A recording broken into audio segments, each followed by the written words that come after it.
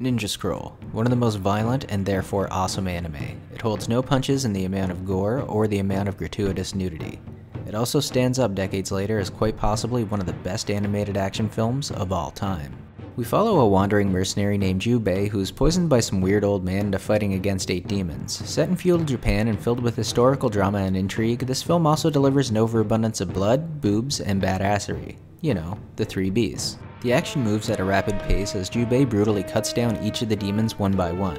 Well, kinda. He technically kills three himself, but the first one was like a blind dude that he tricked, the other one was a 50 50 effort with the old guy. I'll give him the third one, but it's quite possible he might have just lucked out with that one. He thinks he killed the rock dude, but that guy actually gets killed by his own boomerang sword thing due to poisoning from a female ninja who he uh, assaulted earlier in the evening.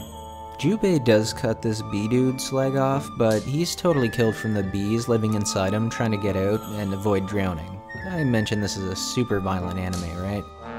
In typical demon fashion, the rest of the demons are off by each other as they scheme and vie for power, except for the last guy. I won't spoil his thing. It's good though.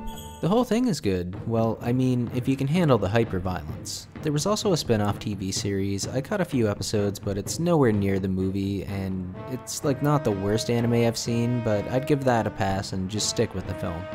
Clearly this isn't an anime for everyone, but if you can stomach or have a taste for Tarantino levels of gore or just pure visceral action, I highly recommend it.